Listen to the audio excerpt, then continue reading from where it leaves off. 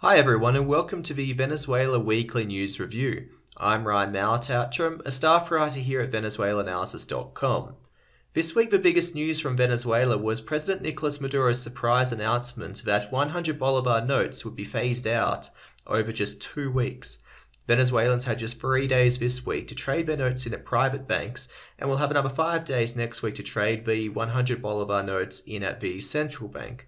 Maduro has explained the relatively small transition period was essential to ensure the new currency doesn't immediately fall into the hands of smugglers and currency speculators, who he blames for the collapse in the bolivar's value over the last few months. However, the move has also sparked some criticism from Venezuelans, arguing the transition has hit businesses hard and could leave people in rural areas behind. Amid the currency transition, Maduro has also ordered the closure of Venezuela's borders with Colombia and Brazil. The closures were announced Tuesday and were initially slated to last for three days. However, on Thursday, Maduro announced the closures would continue for at least another 72 hours. In other news, Venezuela's National Assembly has relaunched a political trial against Maduro.